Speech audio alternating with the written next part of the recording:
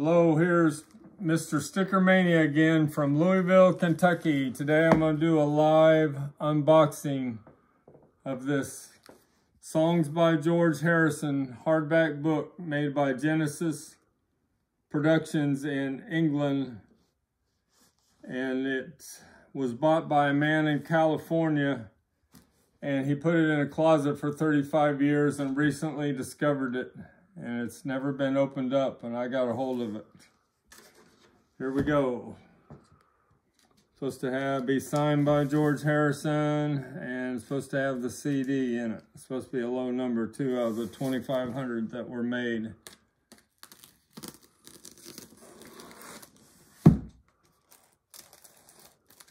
Careful with the cover, Frank.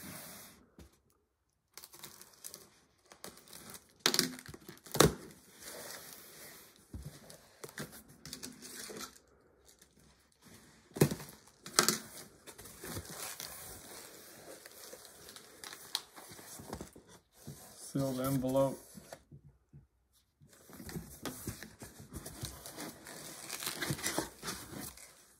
Got the inserts. That dropped. Got the book all sealed up.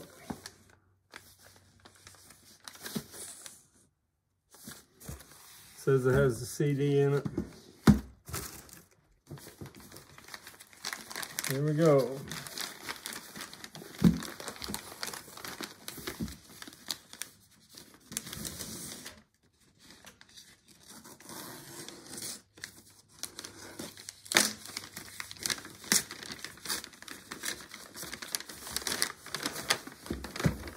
There's the hardback book. Songs by George Harrison. When it has the one dot, that means that's volume one, 1988. He made another volume two in 1992. George and, and Keith West, the illustrator from New Zealand, worked on this for two years, matching up the the watercolor paintings to the 60 songs that George wanted in this book. Here we go. Now we open it up. There we go. There's the bound book, Songs by George Harrison. It's supposed to be signed on the first. There's Keith West, the illustrator signed there. Those are his watercolor illustrations. This is one of only 250 extra to the limited edition which have been prepared for review purposes. And there is George Harrison's autograph. So this was the first 250 that was reviewed. See, it's got all his songs and watercolor illustrations by Keith West of each each song. Got a little bookmark there. Picture of George when they were doing it together, making it. They did this and worked on this for two years at his um, Friar Park mansion. It's got this little CD pull out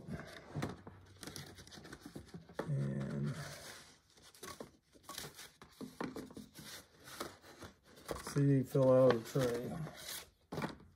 There's a CD of the five unreleased songs by George Harrison.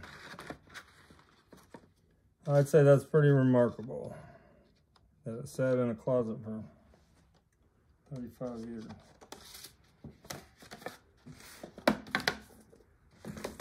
Okay, also on my Sticker Mania 2853 eBay store, I got a few new arrivals. Got this Beatles tray from 1964. It says made in Great Britain. That's how you know you got an original. And you have to have this sticker, Worcester Ware, on the back. There's no scratches on it at all. Got this 1966 unleft old new stock of the Rolling Stones program from 1966 in the United States. In perfect, unused condition, printed in the USA. Got these two butcher covers that I peeled from the Gary Hine estate. The mono, which was a little tough, but the stereo really came out nice. That's the best stereo I've ever peeled out of the 10 that I've peeled in my lifetime.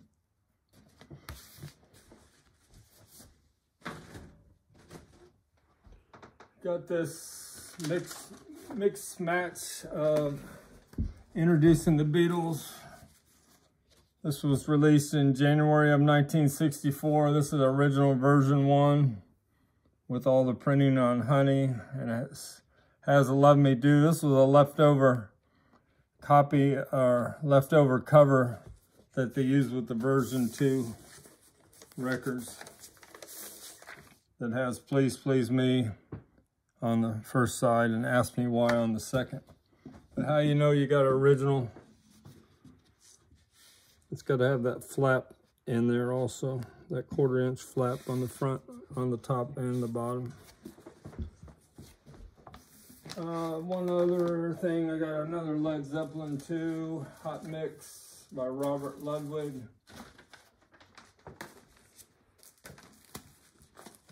So the Bridget, when she bought this, she put her name on it, but then she was smart enough to to um, carefully cut the hype stickers off the factory shrink and she put it on the front and the back, which makes that pretty nice. But this is the uh,